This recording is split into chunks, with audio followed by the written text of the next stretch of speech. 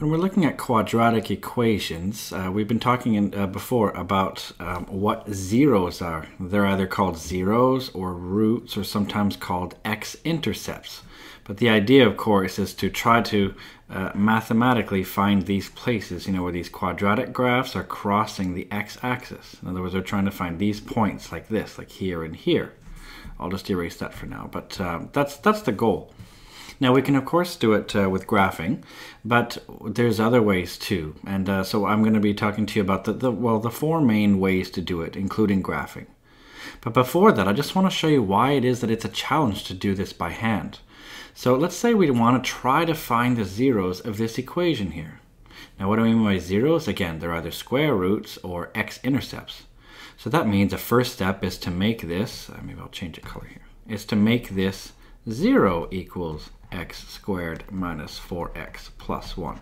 Remember, because that's what a 0 is, or a root, or x-intercept. Right? An x-intercept is where y equals 0, so y is 0. So the issue is then, okay, what do I do now to get x on its own? The idea is to get x equals something. I mean, you might think, okay, well, uh, I guess what I'll try to do is maybe I'll move the 1 over. So minus 1 equals x minus uh, x squared minus 4x. You go, okay, maybe I'll move the minus 4x over. So now it becomes minus 1 plus 4x equals x squared. So maybe that helps you out. And then you might think, okay, well, now what? Hmm.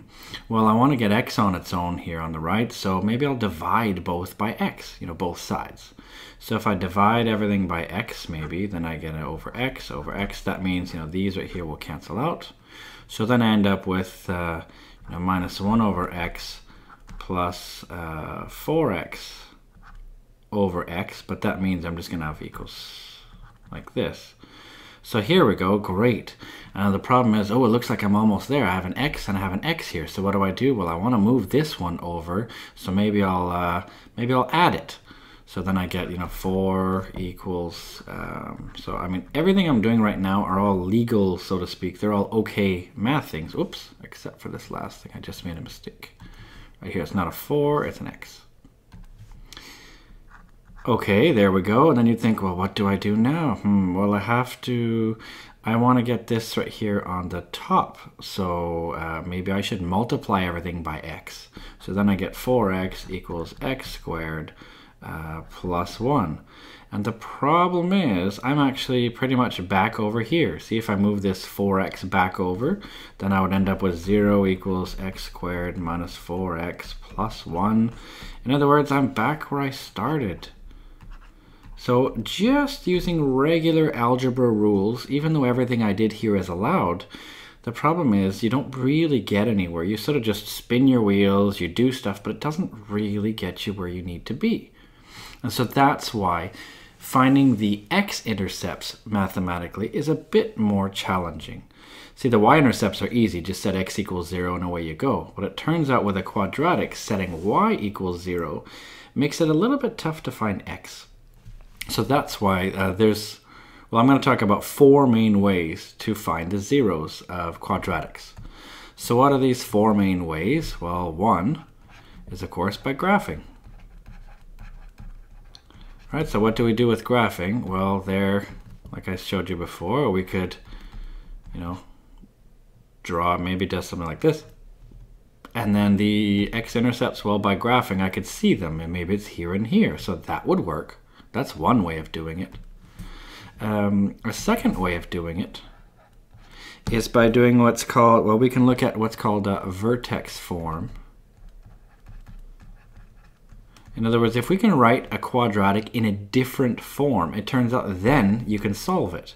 In order to get it into vertex form, though, we're going to do something called completing the square. Some students cringe when they hear that. But that's completing the square. But the idea will be to get it in a form that looks like this. Maybe it's like y x minus h, all that squared, minus uh, or plus k. I mean, something that's in this form or something, if it looks like this form, uh, then you can solve it. Um, I'll be explaining this more in detail in uh, future videos, but for right now, just keep in mind that completing the square is one thing you could do. Another thing you could do is to actually factorize it or factor, or I guess I'll say factoring. So if you could actually take a quadratic equation and factor it, uh, then it'll work. You can actually solve it. Um, and a fourth way is actually to use the quadratic equation. So it turns out uh, that's also a way of doing it. So graphing always works, but you don't always have a graphing calculator with you. Vertex form, it turns out that always works. Okay, so it always works, but it can be a bit long. But it always works at least. Okay, so there's an advantage there. Always works.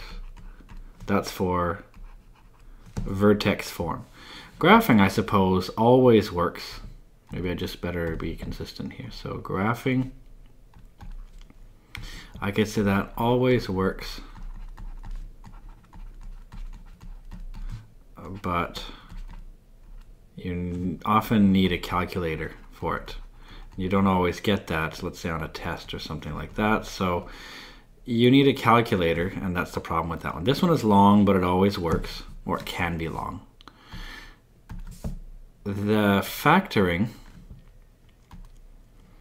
I would actually say it's um, doesn't always work. So not everything can factor. But when it does,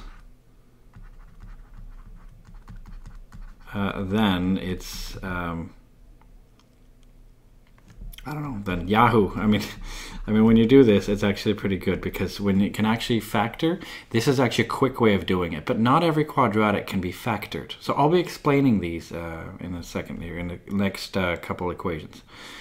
I don't know why I said quadratic equatic. That looks really weird. Um, I hope you found that and spotted that. So this is actually supposed to be quadratic equation. Hopefully you're paying more attention than apparently when I'm writing and speaking, my brain doesn't always seem to work. A quadratic equation always works. But it's slightly ugly. I suppose if you have aesthetics, uh, you know, uh, involved in math, then maybe it's a little bit ugly, but it does always work. And so uh, some teachers insist on showing all the different ways. I think it's a good idea to be exposed to them, but the way I see this is you've just got to use tools for the job. I mean, if your job, or so to speak, or um, you know, tools for the for what you need. So in other words, if your goal is to find the roots of quadratics, then you've got four main ways of doing it.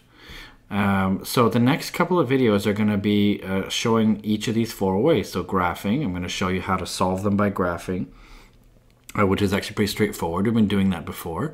Uh, vertex form, I'm going to show you what that means and how to actually complete the square in order to get it into the proper form. I'm going to show you how to factor stuff because if it does factor, it makes things really easy and I think it's quite fast. My personal sort of go-to is I always try to factor it really quickly and if it doesn't work, then I do quadratic equation. That's just what I like, if I don't have a calculator allowed at least. And last is this quadratic equation, and I'm going to show you how to use it. And I'm going to round everything off by actually showing you where the derivation comes from for this. Because this equation doesn't just come from outer space, it doesn't come from the sky, so to speak. Uh, there's a reason for it, and I'll show you sort of where it comes from, even though it's a bit ugly, but uh, I'll show you where it comes from. So that's where the next videos will be. It's all about how to find the roots of quadratic equations.